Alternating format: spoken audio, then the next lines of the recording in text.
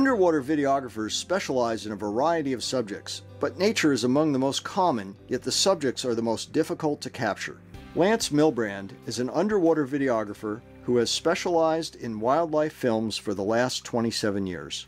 My name is Lance Milbrand, and I'm a, a filmmaker, a small video production company called Milbrand Cinema, and I shoot both underwater and topside. Well, I studied industrial arts at San Diego State University, and my emphasis was in illustration. But the thing that taught me uh, the most important thing you can learn in filmmaking is to be on time. And I learned that playing football. Because if you're not early or on time for a film job, then you won't be asked back again. You know, back in college, I thought about how can I make a living in the ocean? And I was thinking about, hmm, maybe I could uh, pop abalones for a living or collect sea urchin. But there was a lot of people in San Diego who were really influential in filmmaking. And I tried to uh, grab their coattails and learn from them. And uh, I, I, bought my own equipment and, and just went out and tried to do it myself. Well, paid videography came in increments for me. I uh, applied for a small grant and was awarded a tide pool film with kids. Uh, and then I also got a job working for uh, the diving industry uh, called Be a Responsible Diver. The technical knowledge I needed to become a filmmaker was in, for the most part, three distinct areas. I wanted to be a, a producer, a cameraman, and an editor. And the producer has to sell himself to, to get the next job and to do the first job proficiently. The cameraman has to hold the camera really steady, show wide, medium, and close-up shots, and know how to get from point A to point B and the editor has to make it all come together in a cohesive fashion. You may wonder why I'm sitting here in the redwood forest. Well, as a filmmaker, you can really live anywhere and travel to anywhere that the airport will take you. So uh, in my career, um, I've been to a lot of places around the world, uh, but I'm finding this habitat, believe it or not, in the forest um, hasn't been documented very much in the rivers and creeks, so that's where I'm working now. My job has brought me to some really unique locations around the world. Um, once I was hired to shoot underwater beauty shots for CBS Survivor, and uh, I just went around Palau looking for beautiful things underwater. Um, another time I assisted Howard Hall pushing the big IMAX camera for over 150 days at Cocos Island, Costa Rica. And a place that I really like to go to and shoot underwater is uh, the Yucatan cave systems down in Akumal and Tulum. A typical day is sun up to sundown. Uh, you're working throughout the day diving and the only limiting factor could be uh, your decompression requirements. Uh, but if you find something really interesting at the end of the day, you're going to go night diving and shoot that as well. But then after you're done night diving, you, you get the gear prepped for the next morning. So you could be working 16 hour, 18 hour days. A wildlife filmmaker, what I do, um, you have to understand the animals inside their habitat.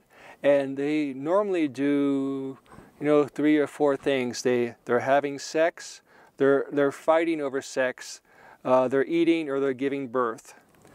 Uh, uh, looking at the other side of the coin, the Hollywood filmmaker, most of their shots are set up.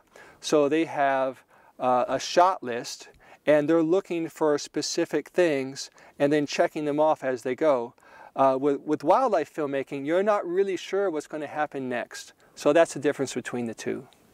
I once worked for National Geographic on my own project where they left me on a deserted island called Clipperton Atoll, which was a sunken volcano. And I had to create sequences uh, between the transition of water and land. And one shot I was really proud of uh, was a moray eel that left the tide pool, came up and grabbed a land crab and went back into the ocean. One job I really enjoyed had to do with filming whale sharks feeding off the Yucatan Peninsula in Mexico. Um, it wasn't a, a, sit by and watch them swim by type of job. I had to put the camera in front of me and swim literally as fast as I could and get in front of them as they came by feeding. And, and uh, it was really exciting. Filming in freshwater is something I really like to do, uh, but there's some technical challenges uh, that you have to adapt the housing to become more buoyant uh, by adding floats to it. Uh, most recently, I've worked on a film uh, for the National Marine Fisheries Service on federally endangered steelhead, and I'm, I'm pursuing a project on California newt, which is a salamander that lives right here in the forest. What I like most about my job might not be these flies or that crow, but I get to work outdoors and create films that have art to me and and build something that was that started with nothing. And I make things that are appreciated by people and I get paid for it. And so uh, it's a win-win for me. The most difficult aspect of underwater filmmaking is having continuity between jobs. Um, as an independent there's there's periods of time could go weeks could go months when you're not being paid a salary and it's up to you as an independent producer to keep that money coming in.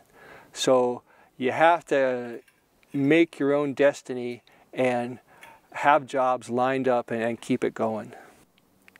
I might hold a record for 77 bags brought on one expedition with National Geographic, but I recently went on a trip on my own down to the Yucatan to do some cave diving, and I brought 11 bags, and plus two carry-ons.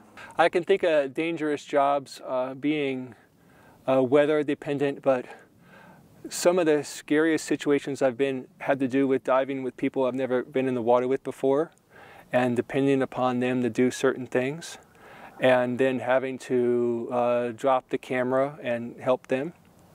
So uh, the people that you're diving with might be an asset, but then again, they could be a liability, and you have to uh, keep your senses about you and make sure that um, everything uh, and everyone comes back up safely. Between jobs, when I don't have anything lined up right away, I'll go out with my own camera and shoot, some, shoot something in nature that is really rewarding when I come home and view it. And I say to myself, you know, this is where I belong.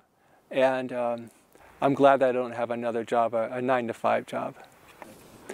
My advice for a person starting out in this business is to follow your passion and keep with it as long as you can. Um, be tenacious and uh, learn the technology. Um, have a spouse that's understanding.